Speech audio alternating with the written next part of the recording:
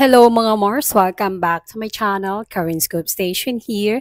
Disclaimer, itong mga photos and videos na isi-share ko sa inyo ay hindi ko po pagmamayari at i-credit natin ang mga owner nito. Tuloy pa rin talaga ang Kusina on Wheels ni Kong Gresman Arjo Atayde sa District 1 dahil itong video na to ay nagpapatunay na hanggang ngayon ay talagang ginagawa niya ang kanyang uh, gawaing ito upang makatulong sa kanyang mga constituents. Aside na may ginagawa siyang trabaho tungkol sa kanyang tungkulin, ito pang kusina on wheels, every month po to ginagawa. Hanggang ngayon ay, hanggang ngayon, ay ginagawa pa rin niya. At meron pala akong isi-share na video mga Mars, hindi ko alam, ito po yun. Nakita niyo naman na boarding time, kita nyo ang mag-asawang Arjua Taide and Main Mendoza. Nakita ko tong video na to siguro mga 3 days ago na. Ngayon ko lang na-share. 2 days ago, hindi ako, hindi, hindi ako nagkakamali.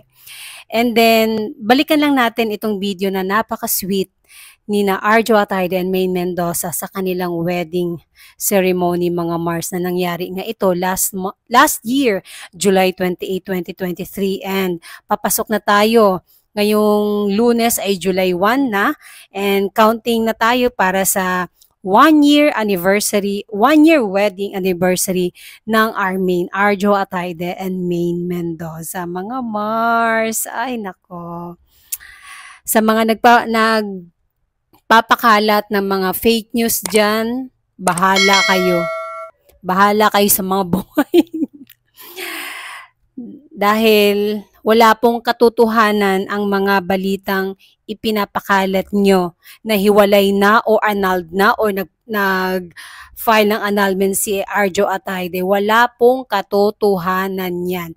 Big, big, big, big, big fake news po yan. Ako, wag kayo maniwala sa mga nanonood. Wag naman sana po kayo maniwala.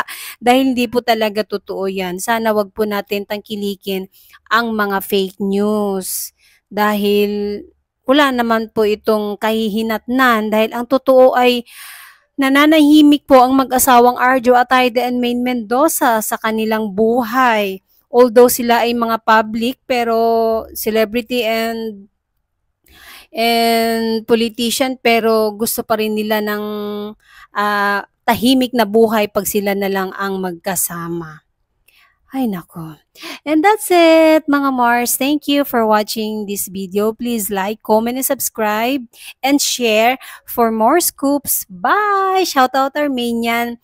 Counting na tayo dahil one year anniversary na, wedding anniversary na ng Armenia yung July 28, 2024.